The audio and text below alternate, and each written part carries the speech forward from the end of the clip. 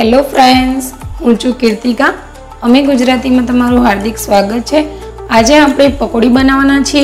તો ચાલો જોઈએ. નવી નવી વાનગીઓ શીખવા માટે મારી ચેનલ અમે ગુજરાતીને સબસ્ક્રાઇબ કરો અને મારા વિડીયોને સૌથી પહેલાં જોવા માટે બાજુમાં જે બેલ આઇકન છે એને પણ ક્લિક કરો, જેથી મારા આવનાર દરેક વિડીયોની નોટિફિકેશન તમને મળતી રહે.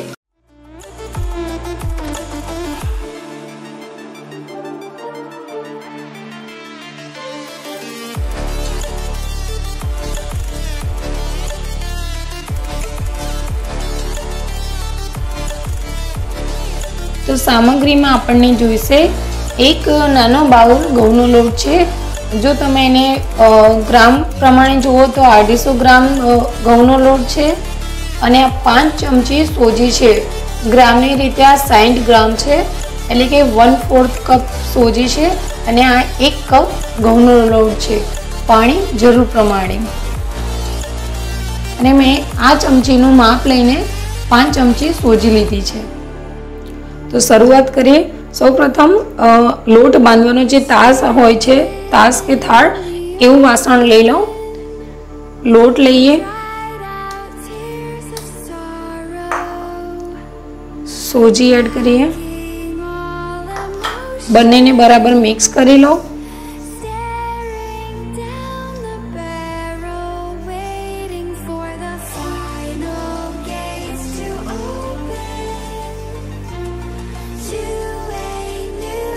આ રીતે બરાબર સોજી અને લોટ મિક્સ થઈ જાય.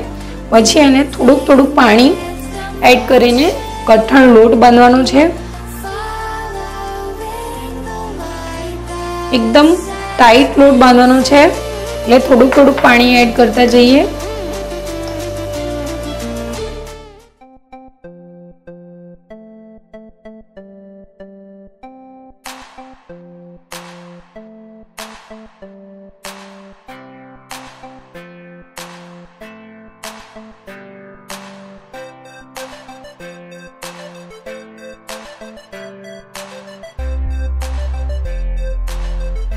જ્યારે આપણો લોટ આ રીતે બંધાઈ જાય, ત્યારે પાણી લીધા વગર એને પાંચથી સાત મિનિટ માટે એને આ રીતે બરાબર મસળવાનો છે. જે સોફ્ટ પણ થાય અને કડક પણ રહેવો જોઈએ. એટલે કે કાઠો લોટ રહેવો જોઈએ અને સોફ્ટ બની જવો જોઈએ. ત્યાં સુધી આપણે પાંચથી સાત મિનિટ આ રીતે એને લોટને મસળી લેવાનો છે. તો આપણો લોટ બંધાઈને રેડી છે. તમે જોઈ શકો છો. કે આ કઠણ અને સોફ્ટ થઈ ગયું છે. હવે આપણે આની પકોડી બનાવવાનું ચાલુ કરીએ. આ રીતે કરીને આપણે લોટના લુવા કરી લઈએ.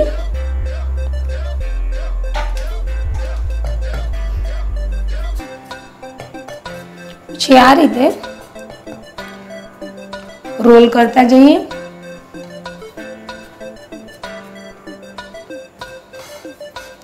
આ લોટ બાંધવામાં મને પાણી અડધો કપ વપરાયું છે. એટલે કે એકસો પચીસ એમએલ જેટલું પાણી વપરાયું છે.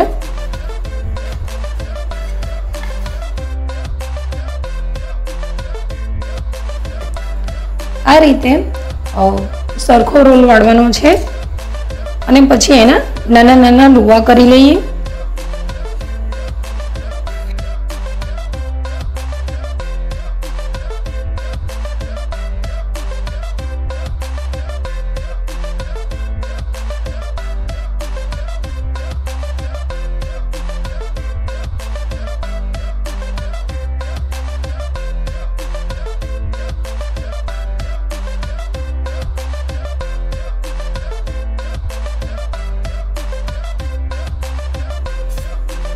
આપણા નાના નાના બોલ્સ રેડી છે પકોડી વળવા માટેના. હું આ જ રીતે બીજા લૂટના પણ બોલ્સ કરી લઉં. આને આપણે ઢાંકીને રાખવાનો છે લોટને. આ રીતે કોઈ પણ કપડું લઈને અને આ રીતે ઢાંકીને રાખવાનું છે. ત્યાં સુધી હું આ સેમ એ જ રીતે ફરીથી લુવા કરી લઉં છું. તો મેં આ પકોડી બનાવવા માટે બધા જ લોટના મેં નાના નાના બોલ્સ કરી દીધા છે. તો પકોડી બનાવવાનું શરૂઆત કરીએ વણવાનું. મેં એની માટે એક જે પૂરી વણીએ છીએ જે પાપડ બનાવીએ છીએ એનું મશીન લીધું છે, એને બંને સાઈડમાં આ રીતે કોથળી લગાવી દીધી છે, જેના લીધે આપણને ઇઝીલી પકોડી વણવામાં ઇઝી પડે. આ રીતે એક બોલ્સ વચ્ચે મૂકી દો, પછી આ ઉપરનું આ રીતે બંધ કરીને મશીને આ રીતે બે ત્રણ વખત પ્રેસ કરીને ખોલીને પૂરીને બહાર લઈ લો. આપણને આ ટાઈપની પકોડી જોઈએ છે. તમે જોઈ શકો છો, જો તમારી પાસે આ રીતનું મશીન ના હોય, તો તમે ઇઝીલી આને વણી પણ શકો છો. આ રીતના શેપમાં, આ રીતે પણ તમે વણી શકો છો, કાં તો ઓવલ શેપમાં પણ તમે પકોડીને વણી શકો છો. હું આ જ રીતે બધી પકોડી વણી લઉં છું. અને મેં આ રીતે એક ટીસમાં મૂકી છે. ફરી રીતે ફરીથી હું બીજી પકોડી ઉતારી લઉં.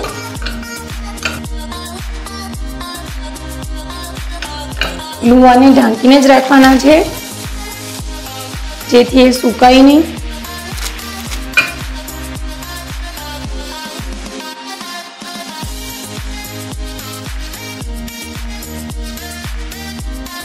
તો આ રીતે આપણી પકોડી વણાઈને રેડી છે. હવે એને આપણે તળવાની છે. તો તેલ ગરમ કરીએ ત્યાં સુધી આને એક કપડાથી ઢાંકીને રાખવાની છે, જેથી એ સુકાઈ ના જાય.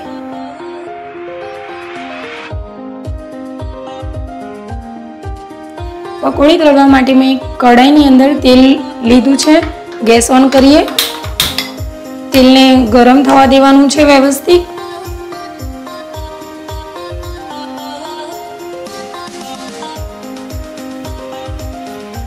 આપણું તેલ ગરમ થઈ ગયું છે. ગેસને થોડોક મીડિયમ સ્લો કરી લઈએ.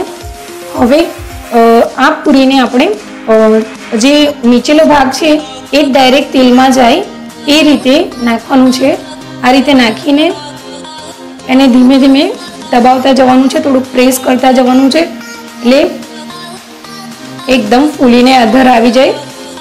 આ રીતે એક એક પૂરી આપણે નાખતા જઈશું.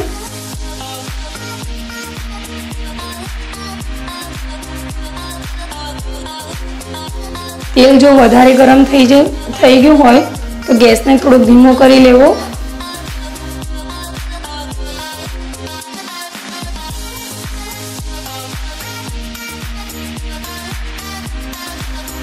આ રીતે પ્રેસ કરવાથી આપણી પકોડી છે એકદમ ફૂલશે.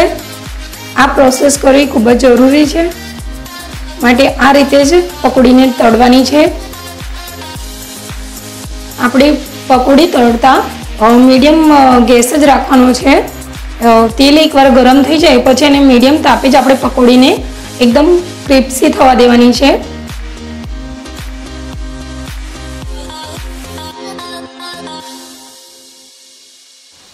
આ રીતે એક સાઈડમાં ગોલ્ડન થઈ જાય, પછી બીજી સાઈડમાં ફેવરી લેવાનું છે. આ રીતે એને મીડિયમ તાપે આપણે થવા થવા દેવાનું છે. આ આપણી પકોડી ગોલ્ડન રંગની થઈ ગઈ છે. ને આપણે આ ઝારાને આ રીતે ઊંચું નીચું કરીને જે વધારાનું તેલ છે એ બધું જ પકોડીમાંથી નીકાળી દેવાનું છે. જ્યારે પકોડી નીકાળો ત્યારે ગેસને એકદમ સ્લો કરી દો.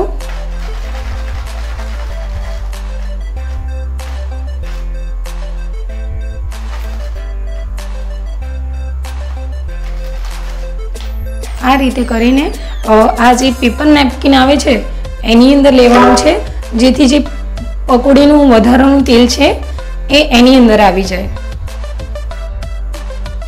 તો આપણી પકોડી રેડી છે.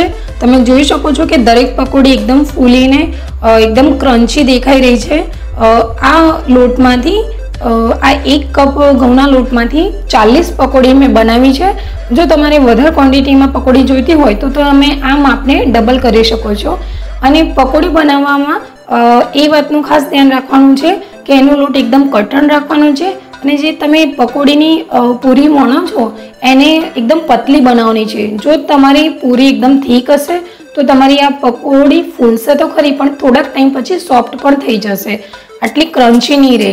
અને હું આ પકોડી તમને તોડીને પણ બતાવું છું કે જુઓ તમે કેટલી ક્રન્ચી છે. જે બજારમાં આપણે જે લારી પર ખાઈએ છીએ સેમ એ છે. તમે એકવાર ઘરે ટ્રાય કરો. આઈ હોપ તમને મારી આ રેસીપી ખૂબ જ પસંદ આવશે. અને જો મારી આ રેસીપી તમને પસંદ આવી તો એને લાઈક કરો શેર કરો અને તમારા કમેન્ટ પણ મને જણાવો. અને મારી ચેનલને પ્લીઝ સબસ્ક્રાઈબ કરવાનું ના ભૂલશો. જેથી મારા આવનાર દરેક વીડિયો તમને મળતા રહે. આવજો.